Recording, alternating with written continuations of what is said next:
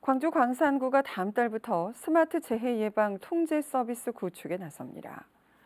광산구는 최근 광주시의 공모에 최종 선정되면서 12.5억여 원을 확보했다며 이를 바탕으로 인공지능과 정보통신 기술을 접목한 재난안전 서비스를 제공할 계획이라고 밝혔습니다.